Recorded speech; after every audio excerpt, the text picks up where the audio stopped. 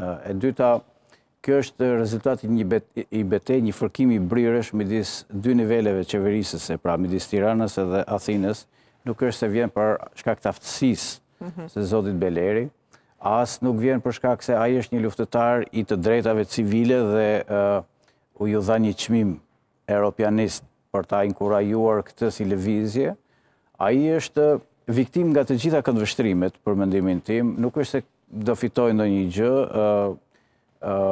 daljen nga burgu e ka me procedurë, sepse duket që edhe akuza e tillë është, por të gjithë u kujdesën nga pak për ta bërë eurodeputet, Të gjithëve u duhet nga pak për të treguar me gisht Belerin. Ramës i intereson për të treguar se ja çfarë bëjnë ekstremistët.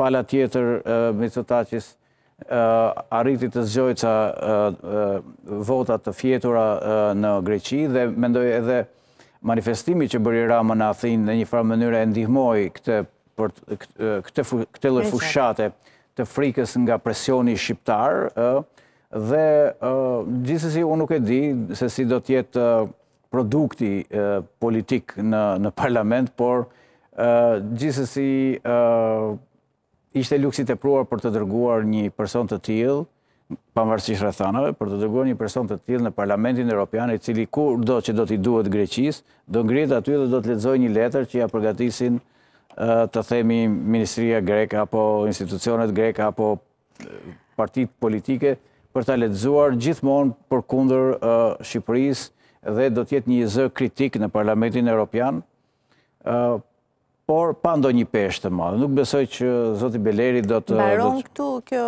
lufta, le të themi përballja e Mitsotakis-it me Ramën, se shiko ti më vë Beleri në Himarë mua, e mbështet e djathta, por Beleri kapet duke bërë korrupsion elektoral dhe hyn në burg, ti e fut në burg, po shiko se unë e bëj eurodeputet. Mendon që mbaron këtu çështja Beleri me kaq Zoti Rama kur ka bërë fushatën e parë për të ardhur në pushtet dy mijë e trembëdhjetën, ju kujtohet kishte atë formulën përtej të majtës dhe të djathtës. Po. Dhe zoti Rama herë pas here ka përdorur strategjinë e tij populiste dhe do ta përdorë përsëri. Unë mendoj që përveç asaj çfarë ka anoncuar që antikorrupsioni do jetë një kartë e tij elektorale, Mendoj se do të jetë edhe populizmi dhe kjo është ajo pema që ka mbjellë, Beleri është pema që ka mbjellur për të korrë disa frute vitin e ardhshëm në zgjedhjet elektorale, sepse do ta përdorë edhe këtë mhm. lloj elektorati që është në Greqi, për të ardhë njerëz, për ta votuar, për të mbështetur, njerëzit kur janë edhe pse janë fitues në disa raste njerëzit nga nga nga bota e tyre e brendshme nga subkonscienca e, e kanë edhe një lloj paniku rezervë se mos çfarë do të ndodhë nëse humbas edhe kjo i shtyn gjithmonë në një lloj radikalizmi personalisht kam kam e kam thënë dhe e them prapë që kandidimi i zotit Beleri ishte një gabim strategjik E kuptoj. Dhe nuk mund të përdoret çdo lloj figure për për vota.